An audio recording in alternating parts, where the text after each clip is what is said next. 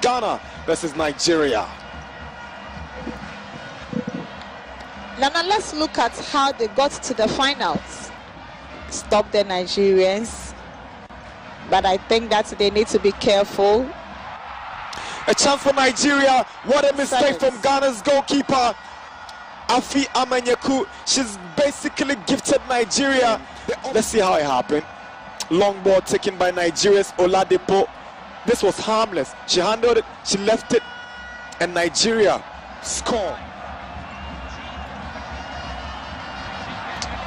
Ampunsal finds Mukarama. Can Ghana get an equalizer? Here is Mukarama, and Ghana nearly finding the back of the net, but yeah, up. Good run from Mukarama. She did well to control the ball. She was trying to cut back, but Trace.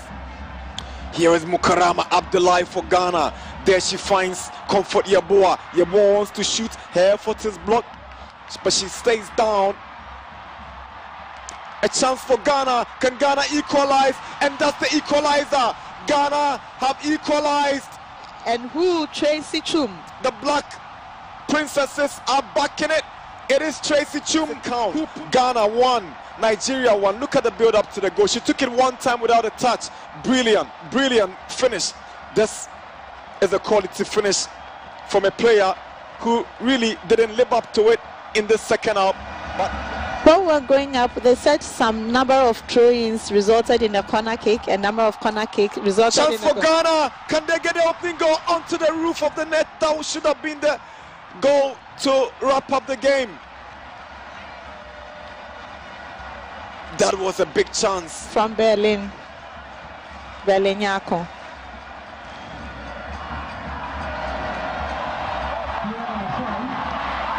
Chance for Ghana. Here is Mukarama.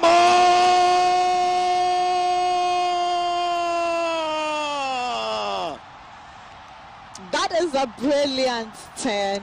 Ghana in the lead in extra time. It is Mukarama Abdulai.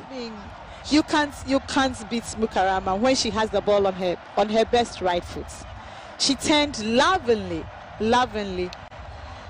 You know what? You want to give some credit to Mefia Nyame.